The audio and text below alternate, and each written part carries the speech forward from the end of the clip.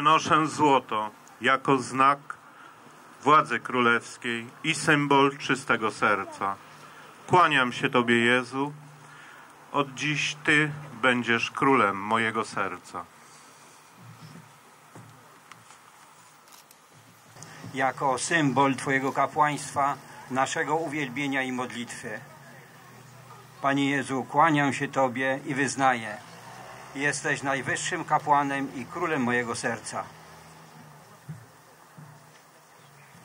jako symbol proroctwa Twojego cierpienia za nasze grzechy, ale również symbol udręczenia, które obiecujemy składać Tobie w ofierze. Kłaniając się Tobie, wyznaję, od dziś jesteś królem mojego serca. Dziękuję za to świadectwo wiary, wiary w naszych ojców, wiarę w, wiarę w Pana Jezusa Chrystusa, którym dzisiaj to świadectwo daliśmy. Dajemy to świadectwo wiary.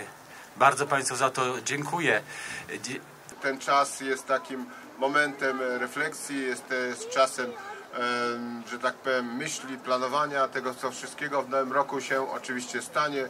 I dziękując za ten orszak, za Państwa przybicie, za organizację też wszystkim organizatorom, urzędowi miasta, parafiom, bardzo serdecznie życzę Państwu w nowym roku pomyślności, błogosławionego nowego roku, zdrowia, szczęścia, wszystkiego najlepszego. Niech się oczywiście darzy. symbol Dzieciątka Jezus to wiara, nadzieja i miłość. I myślę, że nowy rok 2024 właśnie bardzo dobrze rozpoczęliśmy. Wiarą w to, że nadejdzie lepsze jutro. Nadzieją, że będziemy wszyscy razem ze sobą.